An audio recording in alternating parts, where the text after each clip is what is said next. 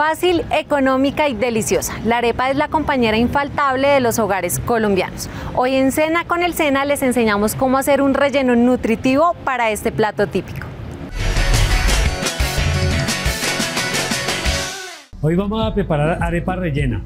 La vamos a hacer rellena con queso y pollo, pero ustedes la pueden hacer con chorizo, con salchicha, con chicharrones, con res, con corazoncitos, con mollejas, con lo que se les ocurra, con lo que tengan en la casa. Para eso vamos a utilizar maíz peto. Entonces lo que vamos a hacer es aplanarla.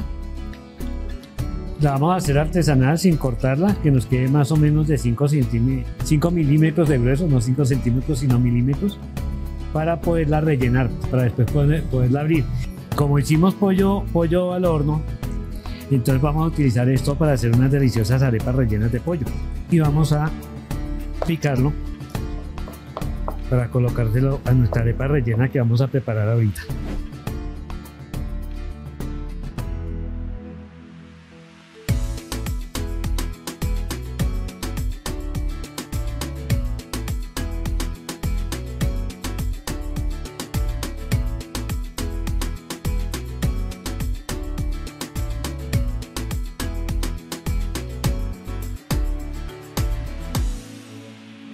Tenemos el sartén, le coloqué un poquitico de mantequilla para que no se nos vaya a pegar mucho la arepa.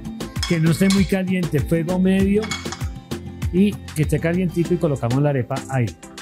Entonces vamos a darle el bote, la vuelta. Para la arepa vamos a utilizar hoy queso campesino, pero pueden utilizar cuajada, queso feta, el que le gusta esta doble crema. Vamos a alistar nuestro pollo y vamos a adicionarle el hogado. Mezclamos entonces abrimos, no importa que se les parta, y vamos a colocarle el queso primero. Entonces le colocamos el pollo y lo terminamos con más queso. Y ahí lo llevamos a la plancha o al sartén.